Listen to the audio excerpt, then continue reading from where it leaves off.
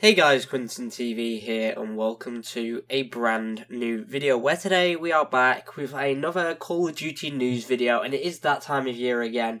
Uh, it's where all the leaks start coming out and all the juicy rumours about what this year's Call of Duty game is going to be. Uh, if you don't know my opinions on this whole thing, I personally thought that last year uh, that since they didn't announce Black Ops Cold War until like August or something ridiculous like that, uh, I genuinely thought that it would have been a better idea just to give Modern Modern Warfare two years and Treyarch work on something even better for what would have been this year. But nope, they decided to release Black Ops Cold War, and I'm glad they did. The zombies in that game is absolutely insane, and I'm. I know I wouldn't say I'm like a massive fan of the multiplayer, but I'd say it's it's decent. It's average, I'd say, so it's playable at least. Uh, if I do sound a little bit off in this video, that's genuinely just because I have a cold and all my sinuses are just completely fucked. So, um, yeah, that would explain any weird noises you may be hearing uh, down the mic. So, uh, let's talk about these Call of Duty 2021 rumours. Now, the rumours are that it, it will be developed by Sledgehammer Games, which it makes sense because obviously they were meant to develop COD 2020, but obviously uh, Treyarch had to step in and finish the game. Uh, so it would make sense that it would go back to Sledgehammer unless they were cutting them out of the development cycle, which I highly doubt they would do because obviously they were they've made two Call of Duty games. They need like a a chance to prove themselves again, and that's probably what this game is going to be. So uh, the leaked, I guess, working title of this uh, year's Call of Duty game. We've seen a few leaks, but the main one that has been, you know, that the leaks uh, all seem to be pointing to is uh, Call of Duty World War II Vanguard. And as from now, we are going to not call it that because it gets confused with, you know, Call of Duty World War II. And yeah, we're just going to call it Call of Duty Vanguard from now on. Uh, now, I heard two conflicting accounts of what Call of Duty Vanguard is meant to be. Uh, the first account, which is the one I heard first, was that it would be a World War II alternate history game. So effectively, it'd be like if World War II didn't end in 1945 and it instead carried on until the 50s, maybe. I'm pretty sure that's what uh, idea they were going for, so they could, you know, like not be bound to like historical roots, which I guess has its positives. And then the other uh, version, which I heard from IGN uh, only this morning, actually, because I've been believing uh, this rumor for quite a while, like, oh my god, this is going to be the next Call of Duty.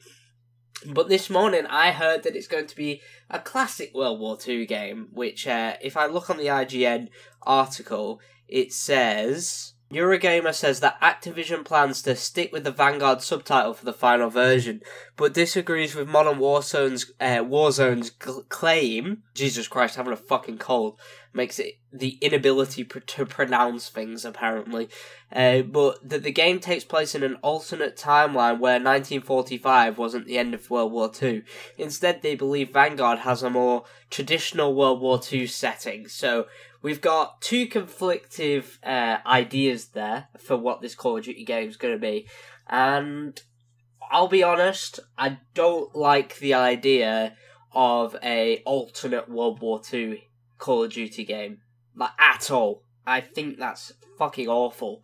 Like honestly, when I want to play a World War II game, I want to have some sense of you know historical accuracy uh, to an extent. Obviously, I don't want it to come in the way of fun. But yeah, I don't want that to come instead of fun. Uh, I think fun should come first in the Call of Duty game, and then historical accuracy should be like an afterthought. But when they're going like, hmm, maybe do we have helicopters in World War Two or jetpacks in World War Two? Yeah, that's when I start to question it a little bit because not only are they not fun in a World War Two game, they're just genuinely uh, they just shatter the feeling of immersion, immersion that those games are supposed to offer you. Like, I would love a good World War II Call of Duty campaign. That's genuinely what I would love, like a semi-accurate one, not like World War II's where it's like over the top as fuck, but I just want like a nice, down-to-earth, dark World War grit, dark gritty World War Two game, and I'm pretty sure that's what the vast majority of fans want from a World War Two game. They want dark, gritty, etc., etc., and also accurate. I think that's a a big thing with uh, modern World War Two games. They like to uh, try and change history a bit. Uh, I know we've all had this conversation with uh, Call of Duty World War Two when that came out, and also when Battlefield Five came out. Uh, and that is the fact that there were no women on the front lines, and in both of those games, they put them there when it made no fucking sense whatsoever. Uh, but yeah, uh, well, I say there were no women in World War Two. There was no women on the front lines in the vast majority of armies. Like in the German army, there was none. In the British army, uh, most Western armies. I think the Soviets were an uh, were a uh, exception to that because they were literally just throwing anyone at them in order to, you know, win. Uh, which is why the Soviets just used to throw soldiers and soldiers and soldiers at the Germans, and they have like they've lost like 28 million people in World War Two, and that's like way, way, way more than any other country of World War Two put together. Like fucking hell, it's absolutely ridiculous how many uh, troops the Soviets lost, but yeah, my own personal opinion is that I do not want an alternate history World War II game. I think that would be fucking awful. Like, I, I just wouldn't enjoy that. And a, a historically accurate World War II game, you know, that I'm down for. However, I would have probably preferred uh, Treyarch to, not Treyarch, uh, Sledgehammer Games to try and uh, go for a much more original idea. But in like late 2020, an idea surfaced. Uh, well, a supposed leak that Sledgehammer Games were working on Call of Duty World War Three. Uh, which would have been a sequel to World War Two, but obviously set in the modern day or near future within like four years or something and I would have really liked that. I think that would have been a, a cool premise. It's very similar to the Modern Warfare games, but if they had like different characters, different settings, different factions, I think that could have been a very interesting game. Not gonna lie, but uh, hey ho, we if we get that game, we get it. If we get this uh, World War II Vanguard game, we get that. And fingers crossed it's a traditional World War II setting. That's what I'm hoping for, at least.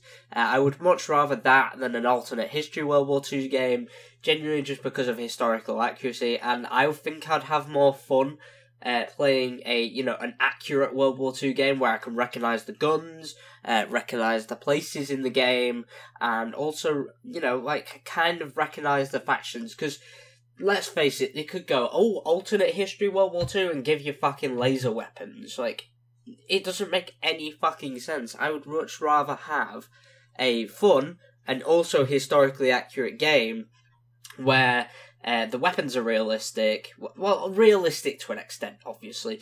Uh, um, the weapons are good. Uh, the maps are, you know, based off real locations, and so are the weapons. The weapons are definitely needing to be uh, based off you know, real life weapons because otherwise it just it just looks shit, doesn't it? I hate I hate it when games like oh yeah historical accuracy and then make up a bunch of weapons. It just doesn't make any sense whatsoever. But anyway.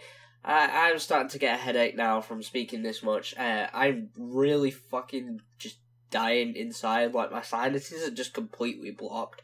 So I'm gonna uh, let you guys ponder on this in the comments section. So if you did enjoy, please leave a like and subscribe. Make sure you turn on post notifications so you never miss a single video. Or alternatively, you can join the Discord server as a link down below. But anyway, I've got a brand new video dropping tomorrow, so make sure you guys check that out. It's going to be a pretty damn juicy one, and I recorded that before I got sick, so uh, you won't have to put up with my annoying ass sick voice. But anyway, uh, thank you guys so much for watching, really does mean a lot. Make sure you leave a like and subscribe, because obviously we are one more sub away from 40 subscribers, so that just really means a lot if you guys would subscribe. And yeah, if um, you can also join the Discord server as a link down below. But anyway, this has been Quinnton TV, and I'll see you all in the next one. I'm gonna fucking die now. I'll See you later.